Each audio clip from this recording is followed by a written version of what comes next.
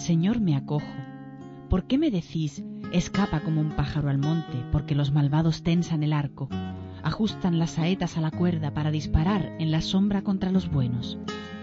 Cuando fallan los cimientos, ¿qué podrá hacer el justo? Pero el Señor está en su templo santo. El Señor tiene su trono en el cielo. Sus ojos están observando, sus pupilas examinan a los hombres. El Señor examina a inocentes y culpables, y al que ama la violencia, Él lo odia.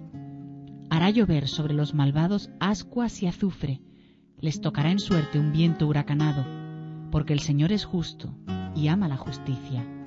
Los buenos verán su rostro.